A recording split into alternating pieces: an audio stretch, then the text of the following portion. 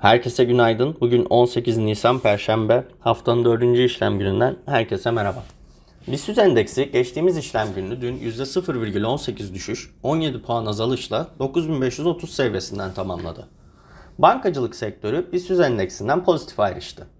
Goldman Sachs, döviz, tahvil getirileriyle enflasyondaki son hareketler dolayısıyla kapsama altındaki Türk bankaları için 12 aylık hedef fiyatlarını yükseltti.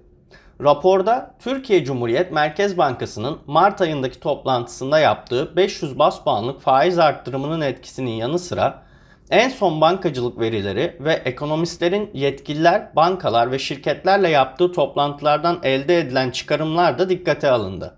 Dün yurt içinde cari işlemler dengesi verisi açıklandı. Şubat ayında cari denge 3,3 milyar dolar açık verdi. Altın ve enerji hariç cari işlemler hesabında 2,1 milyar dolarlık fazla oluştu. Veri sonrasında açıklama yapan Hazine ve Maliye Bakanı Mehmet Şimşek, cari açıktaki düşüş orta vadeli programımızın çalıştığını gösteriyor dedi.